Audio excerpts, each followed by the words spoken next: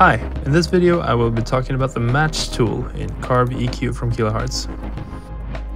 Now what this tool does is it helps you uh, in mixing your song by sort of stealing the equalization from another song, a reference song that you have lying about, and applying that to your song to make uh, yeah the mean frequency values in your song match those of a reference.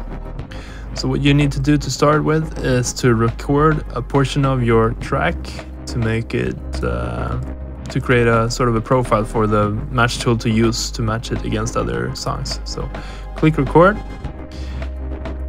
Wait for a while. Wait for a while to see that it builds up a sort of a nice average of your song when you feel like you're done, you press stop and you see this green little check mark here. And from there you can select reference. So you can choose a sidechain channel if you like. You can choose pizza apparently, which is the previously loaded uh, profile. You can choose any of a, a bunch of factory profiles here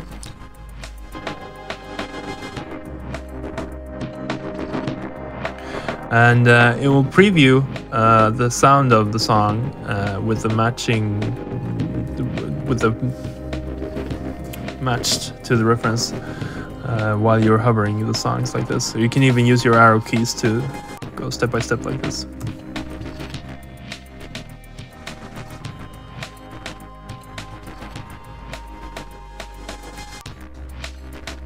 Get the how about get the party started so this is a little extreme, but I can use the amount knob to dial it down a lot.